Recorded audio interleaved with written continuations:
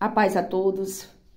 Aqui quem vos fala é a irmã Fátima. Venho através desse vídeo desejar um feliz Dia das Mulheres, que não se resume só hoje, mas sim os 366 dias do ano, que será glorioso, que será abençoado para todas nós. Mulher, você é o espelho, você é a referência, você é a menina dos olhos de Deus, você é sábia, virtuosa mulher de fé, mulher que batalha, mulher que é exemplo, mulher que tem uma essência linda, uma mulher que está pronta a defender a sua família, está pronta a edificar a sua casa na rocha.